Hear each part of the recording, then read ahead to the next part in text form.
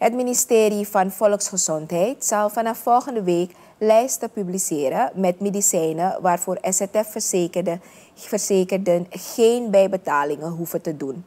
Minister Amara Madin van Volksgezondheid deelde dit gisteren mee tijdens een openbare vergadering in de Nationale Assemblée. Hij benadrukte dat de SZF-klapper grotendeels overeenkomt met de Nationale Geneesmiddelenklapper. De SZF-klapper bevat 271 medicijnen waarvoor verzekerden volledig worden gedekt. Volgens de minister zijn hierover duidelijke afspraken gemaakt tussen het ministerie, het SZF en de apotheken. En we gaan deze 271 medicamenten publiceren voor alle SZF-rechthebbenden, voor alle geïnteresseerden, voor alle parlementariërs, zodat u kunt nagaan als u bij de apotheek gaat met uw SZF-recept en er is een middel op de lijst en de apotheker geeft u aan dat u moet bijbetalen, dan kunt u zelf even nagaan met het tarief welke gevraagd wordt als het klopt.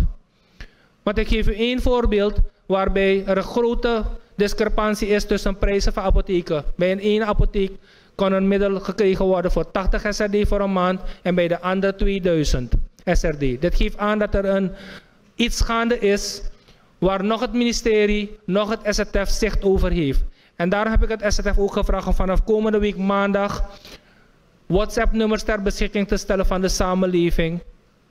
Zodat mensen met hun recepten en hun kwitantie eventueel kunnen informeren als het klopt dat dit middel niet vergoed wordt. Het is een perceptie dat zaken niet vergoed worden, maar er is wel een feit dat er 271 middelen op de lijst staan waarvoor er wel vergoeding is. Ramadin benadrukt dat de staat maandelijks miljoenen uitgeeft aan dienstverleners van medicijnen. Het is daarom opmerkelijk dat SZF-verzekerden toch moeten bijbetalen voor hun medicatie. De minister geeft daarnaast aan dat het preventiebeleid een belangrijke leidraad vormt voor het ministerie bij het uitkeren van restituties. En er wordt, natuurlijk is het preferentiebeleid leidend. En het preferentiebeleid is niets anders dan als er een middel op de markt is bij een apotheek. En er zijn zeven apotheken en er zijn zes die het middel voor bijvoorbeeld 5 SRD aanbieden. Dan kunt u, kunt u ook best begrijpen dat het SZF die ene die 30 SRD vraagt, de prijs daarvoor niet zal vergoeden. Dus het preferentiebeleid is een normaal beleid, ook in Nederland en andere grote landen. Kiest de verzekeraar ervoor om de laagste prijs te betalen voor het effectief middel. Dus ook in Suriname passen wij het preferentiebeleid toe.